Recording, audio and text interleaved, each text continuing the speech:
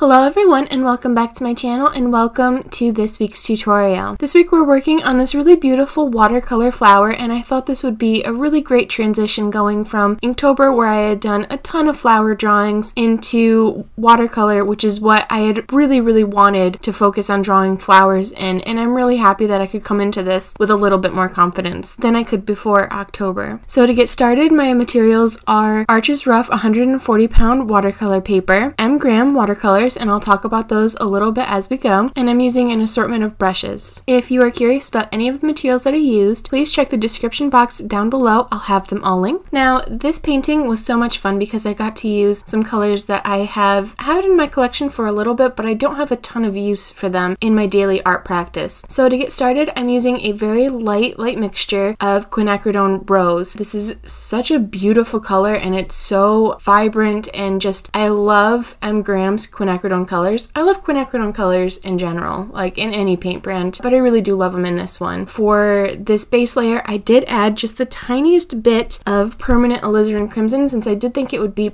perhaps a little bit too bright, um, especially since this base layer is really just to have that lightest tone and I didn't want that practically neon color, even in its lightest value, to be so in your face uh, in the final drawing. And then once I dried, I went in with the same mixture and I'm just really going in and differentiating some of those petal shapes. Uh, as you can see, I did a base drawing before I started and I used a Prismacolor Cool Erase pencil. I used it in light gray and I'm someone who really doesn't mind having my pencil drawings show through. So if you're someone that you're not going to like that, then perhaps a watercolor pencil would be a really good choice for you. Now, once those had dried, I went in and I'm still using my number six brush and I'm just adding in some little segmented lines. I'm using kind of a flicking motion with my brush and I'm just trying to pay attention to the flow of the petals. If you can see in my base drawing, I did have those kind of guidelines put in there. I did have them be a little bit lighter than the actual guidelines for the flower itself in the different petal shapes, but they are still there, they are still visible. You're not going to see them by the time the painting is done, but it really did help me quite a bit get my bearings on how I was going to do this drawing throughout. Now you can use a smaller brush if you want to. I really like these brushes. It has a really nice kind of flexible tip. It's the Princeton Velvet Touch, I believe, and it's a number six, so it isn't like a like a natural hair brush. It is synthetic, so it has a really nice spring to it. So I can very easily use the very end of my brush and then blend it out and have a really wide brush stroke if I want to. Whereas if I picked a smaller brush, I really wouldn't have that flexibility and I find myself switching back and forth quite a bit. And I just don't like that. It seems to hold me up in my workflow. So this is my go-to brush. And then you can see once I did some of those really structural shadow lines, I went in and I went full-blown quinacridone rose uh, with this one. And I knew that it was going to be part of a shading layer. So I went extremely concentrated all around uh, that center part of the flower and then a watered down brush and just took from that center portion and flicked outward. And I really wanted to make sure to maintain that, that kind of linear look, the, the petal structure when I was flicking outward and not just do this radial uh, blending out with my brush. I really wanted to be mindful of that. And you can see that it really did blend it out quite a bit in the bit of the flower in the more center, but right at that very, very center that is still a little bit saturated. And that's fine because that's going to be pretty dark by the end of our painting. And then I wanted to do the same thing at the ends of the leaves, or ends of the petals rather. And as you can see, I'm not doing the entire outside of the petal. I am paying attention to my reference photo relatively closely and I am seeing where the shadows are within the petals. Uh, since these are imperfect shapes, you're going to have a lot of variation in the petals just based on how it's kind of sitting and flowing and I wanted to pay attention to that so that not all of the the outside of it was going to be the same. So you can see that I put down a really thick concentration and then blended that out with water again. And now you can see that I'm just going in with a finer brush and really starting to narrow in on those finer details. And that's what we're going to be doing for the rest of the painting. So for this brush I'm using a relatively small one. I actually don't know the size of this brush. It came in a value pack and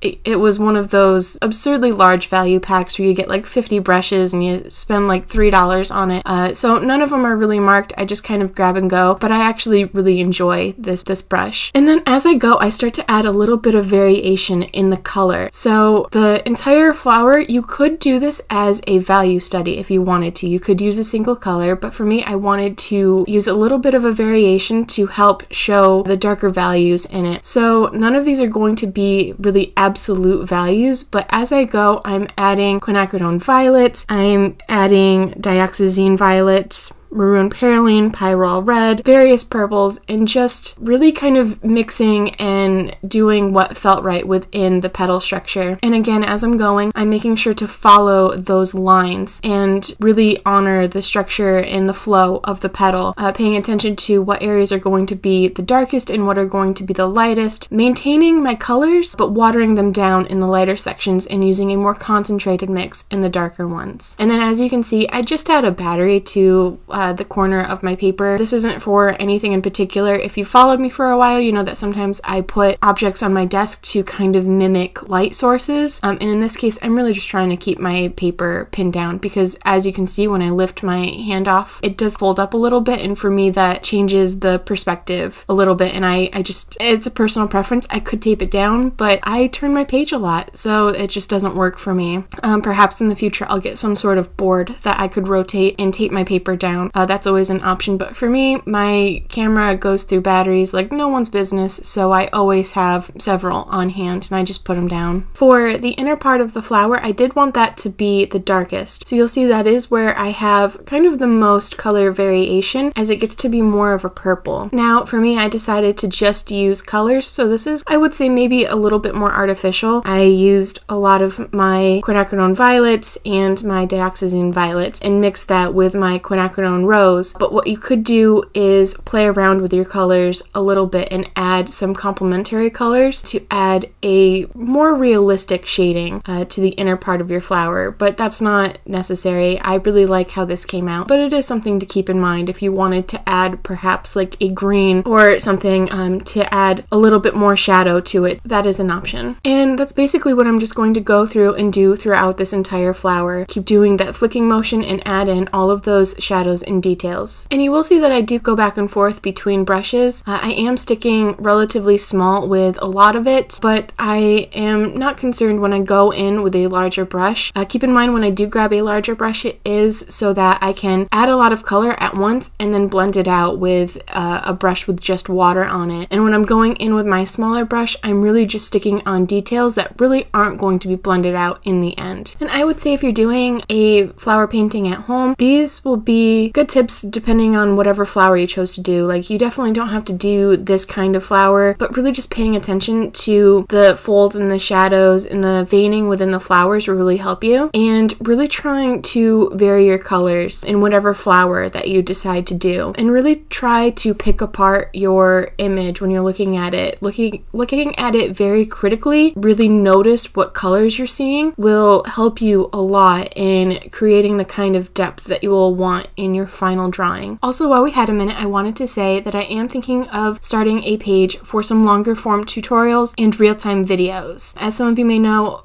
not a lot of people like to have really long videos on YouTube, so I really try to keep those relatively short, and a lot of my paintings are a bit longer. So if you would be interested in seeing some of those longer form tutorials or, or real-time videos, let me know. I also wanted to say that if you are interested in any original artwork or prints, I have those available on my website. That'll be linked down below for you to check it out. And then as we're finishing up with our petals of our flower, I did go through and just kind of define some of those petal shapes uh, before going in and working on the center part of the flower. I did end up having that be like a purple color, so I just went in with my quinacridone violets, and while that dried, I just kind of touched up some of those areas. Like I said, I did define those petal shapes in the center and I ended up doing them pretty dark. I ended up using a little bit of maroon perylene mixed in with my quinacridone rose and um, a little bit of my dioxazine violet. So I ended up being kind of dark and in order to balance that a little bit, I did go through and just darken up some of the other shadows that were within those petals, both at the very center and at the outer edge of the flower. And I really wanted it to be like a, a high contrast image. I really wanted you to see the variation within the petals. I just, I loved the intense lighting that ended up being in this final image, and I just thought it was a lot of fun. And then once I was happy with uh, the rest of the flower, I ended up going in and I used a very concentrated mix of my dioxazine violet, and I just used a very tiny brush to stipple in some little dots just to give it some texture. And I really focused on the outer edge of it to give it just a little bit of dimension, a little bit of like a rounded shape. And then I worked on, again, darkening up some of that flower. As you can see, I never really know when to stop. And then once I really did think I was happy with the flower, I went in with a micron pen and I just decided to do the smallest bit of details when it came to adding some high contrast to the flower, uh, mainly around the very center portion of the flower. I also stippled in a little bit in that center part along with the purple and then a couple of just little tiny markings